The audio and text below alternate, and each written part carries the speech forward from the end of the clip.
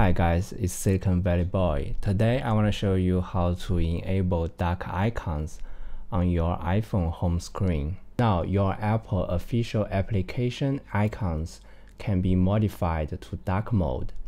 Adaptation of third-party software is also in progress. Dark icons will redesign icons. The background of the icons is mostly black which is good news for users who like dark colors. Now I will tell you how to change to dark icons interface.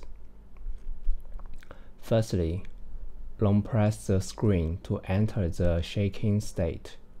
Then click Edit in the upper left corner. Then press Customize.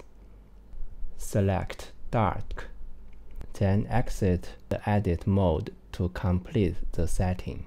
That's all about it, and I hope to see you in the next video.